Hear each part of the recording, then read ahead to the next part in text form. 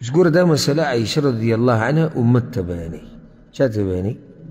امت ته بیانوي ښه نو امت څه وکړي دا مسله سیټ ته کړي دا بیان کړي دي دپاره چې امت په دې مسله باندې پوه شي دا حدیث په صحیح بخاري صحیح مسلم کې دی عایشه رضی الله عنها وایي وأن فاطمة بنت أبي حبيش سألت النبي صلى الله عليه وسلم فاطمه بنت ابي حبيش رضي الله عنها راله پر رسول صلی الله علیه وسلم په سوداګنه ته پوسوک وی انی استحاض فلا اطهر اے دا الله پیغمبر انی استحاض ما ته د استحاضی بیماری ده پاکیږم نه او د زنانه ته پوس کې د چانه رسول صلی الله علیه وسلم دین مسله ده په دې کې داسې نشي کېدی چې اوس که چېرته دا فاطمه بنت ابو حبیش غلي پاتې شوی اوس دې ته پته ونه لګېده چې آیا دې وینه کې ده چې کومه په ما باندې همیشه ده په دې کې به زه مونځ کولی شم او که نه دې کې روژه نیوی شم که نه دې کې زما خاون ما سره میلاوېدی شي او که نه په دې کې به قرآن ویم او که نه په دې کې به ذکر کوم او که نه یعنې څومره مسلې دې سره تعلق ساتي او که دا دې تپوس نه وی کړی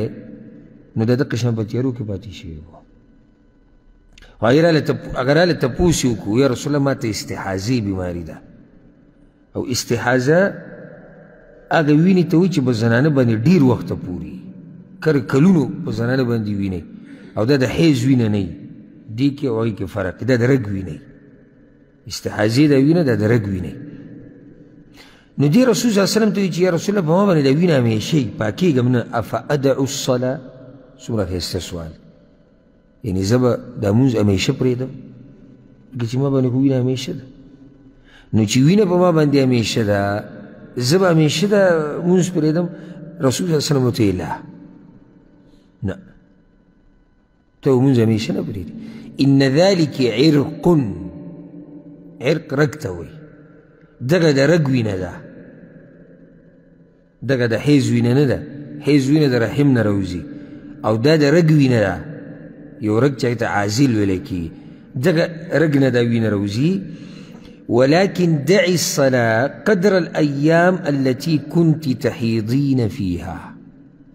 دا اهمه مسله مونځ به ته پرېږدي د هغه ورځو په اندازه څومره چې په تا باندې به حیض بیماري راتله ثم اغتسلي چې کله بیا دغه ورځې ختمې شوې نو غسل به وکړي وصلي او مونځ به کوې دې وضاحت ته د کوم انشاءالله چې پاول پیر سړی په دې نه پوهېږي وفي روایه په بل روایت کې راځي وليس بالحیضه رسول الله صلی الله علیه وسلم ته دا د رګ وینه ده دا د حیض وینه نه ده فإذا أقبلت الحيضة چې کله پکې د حیض هغه ورځې راشي فترکي الصلاة فيها نو دغه ورځو کې به مونځ نه کوي فإذا ذهب قدرها چې کله د دغه ورځو هغه شمار ختم شي د کوم ورځو د حیض د ورځو فاغسلي عنك الدم وصلي نو بیا د وینه وینځه غسل به وکړي او مونځ به شروع کړي دې حدیث کې ډېرې مسلې دي بې شماره مسلې دي یو مسله هغه دا ده اهمه چې کومه زنانه باندې همیشه وینه نو دا د رګ وینه ده دا د حیض وینه نه ده نو په دې کې به مونځ نه پرېږدي انشاءالله دې ښه تفصیل وروسته به راشي مونځ پکې به نه پرېږدي ځکه دا د حیض وینه نه ده د دې نه دا مسله راووته چې د حیض په دوران کې به زنانه مونځ نه کوي اوس یاد کړئ حایزه زنانه چې ده دې باندې منه دی مونځ دې باندې منه ده روژه نیول دغه شان طواف کول او د قرآن په تلاوت کې اختلاف دی چې دا کولی شي او که نه او راجح قول دا دی چې حایزه زنانه د قرآن تلاوت کولی شي ځکه چې په دې صحیح دلیل نه حدیث کې راغلي دي منع خو هغه حدیث سندن کمزوری دی صحیح حدیث نشته چې زنانه د تلاوت نه منع کوي حایضې زنانه لاس خو نشي لګولی ځکه چې خو بې اودسه کېده که نه خو واضح ده چې بې اودسه انسان قرآن له لاس نشي وړلی خو که تلاوت کوي نو لاسپېرۍ لاس ته واچي دستاني او یا په قلم باندې یا په سړډکي باندې پاڼې اړی راړی هېڅ حرج نشته قرآن تلاوت کولی شي ځکه چې دا دې په اختیار کې خو نه ده یعنی اوس یو سړی د جنابت په حالت کې دی جنابت حالت کې موږ قرآن تلاوت نشي کولی هلته دا خبره د ده په لاس کې ده یعنی یو سړی د جنابت په حالت کې د قرآن تلاوت ته یې زړه کېږي څه دې وکړي غسل دې وکړي تلاوت یې کوي که نه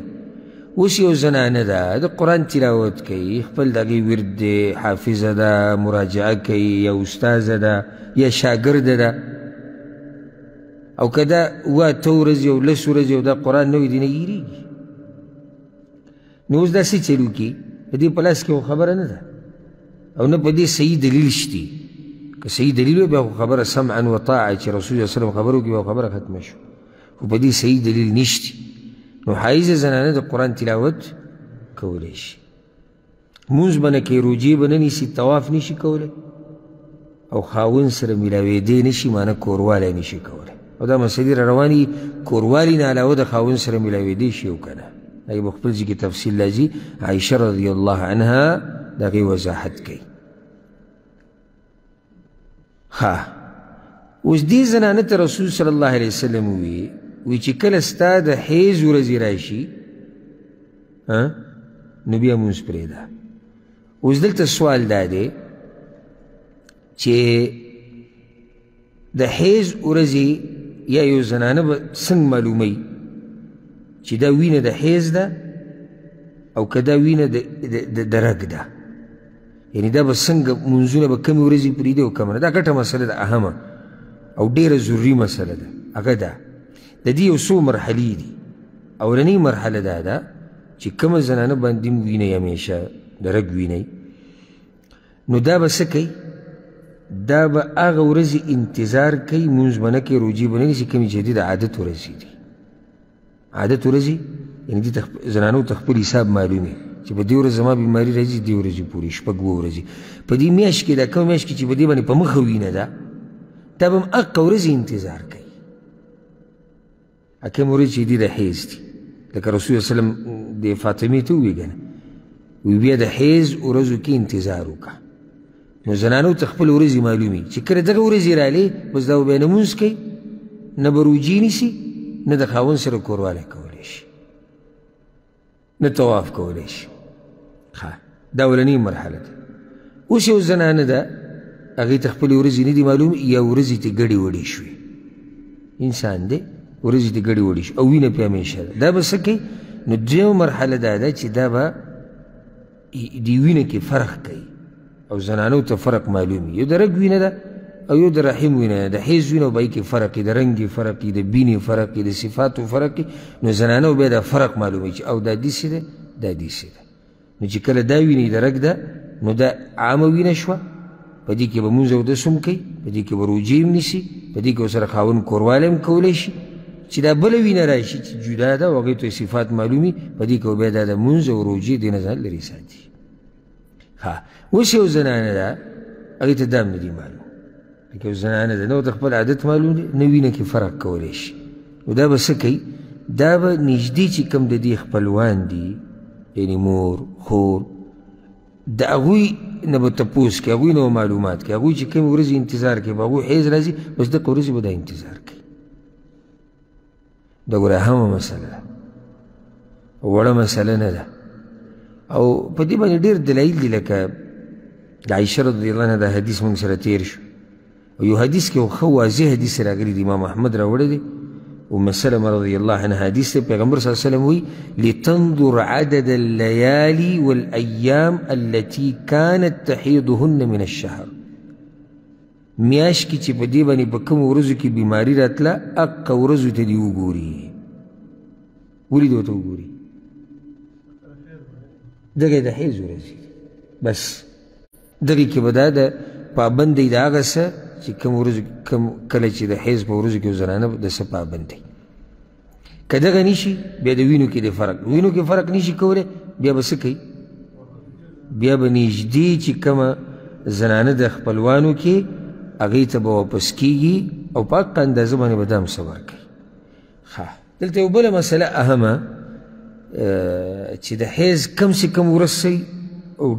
اکثره صحیح یعنی بعضو فقهاو دا خبره ذکر کړې ده وایي حیض په زنانه باندې چې راځي نو کم سې کم دا شپه ورځي یعنی دا نشي کېدی چې حیض دې د شپې ورځې نه کمی او یا زیات نه زیات پنځلس ورځې بعض علما وایي کم سې کم درې ورځې او زیات نه زیات لس ورځې خو راجح قول دا دی د درایلو په رڼا کې موږ به هره خبره هغه خبرې ته مضبوط وایو چې دلیل پې مضبوط وي لکه زموږ کار د څه سره دی هغه د دلیل سره دی د دلایلو په رڼا کې دا خبره زوروره ده چې نه د کم سې کم صحت شتي او نه د زیات نه زیات صحت شتي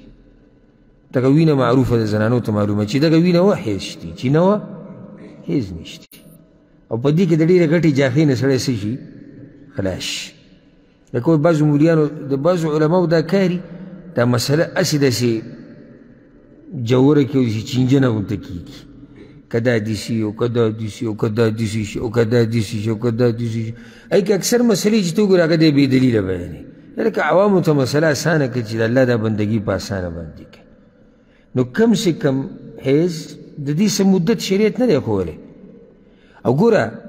مسله عام وړم نه ده که نه چې بعضو خلکو ته راځي امت دوه قسمه دی نارینه زنانه یعنی دا مسله وړه ده د امت د لوی خلکو سره تعلق ساتي نو په کار دا و چې رسول صلی الله علیه وسلم په صفا الفاظو کې ویلی وی چې د حیض کم سې کم موده دومره ده زیات نه زیات دومره ده خو دې سینې دي ویلي چې نه دي ویلي بیا خلک پرې دقه شان چې د حیض وي نه وه جو حیض دی چې نه وه نشته نو کېدی شي لس ورځې شي لکه اکثر شپږ اوه ورځې کېدی شي لس شي کېدی شي پنځلس شي چې څو پورې دغه وینه ده دا حیض دی اوس عجیبه خبره ده د کوم علما چې دا وایي زیات نه زیات ورځې د حیض څو دي لس او بعض وایي پنځلس عجیبه څه ده لکه یو زنانه د ننې لسمه ورځ ده او بیماری پیشتی سبا یولسمه دم دقه بیماری شتی خو سبا حیز نه دی نن حیز دی عجیبه نه ده او مکه بیماری چې پرون وه هغه حیز و نن هغه څه دی نن حیز نه دی ځکه چې وایي دا د لسو ورځو نه څه شوه زیاته شوه نو دا کمزوري خبره ده بلکې بعض زنانه خو هغه دي چې له سره په حیض نه راځي او بعض زنانه هغه دي چې هغو باندې څو ګنټو دپاره حیض راځي نو هغوی ته به څه وایو چې ستاسو دا حیض نه دی ځکه چې کم څه کم شپه ورځ ده یا درې ورځې او درې شپې دي نو راجح قول دا دی چې نه کم څه کم حد شتي او نه د زیات نه زیات څه حد شتي او نه په منځ کې د طهارت څه حد شته چې لازم به زنانه دو حیضو په منځ کې دومره ورځې پاک کوي نه هېڅ حد شریعت نه دی ښوولی او چې شریعت حد نه دی ښوولی نو موږ پکې د ځان نه ګوتې نشو وهلی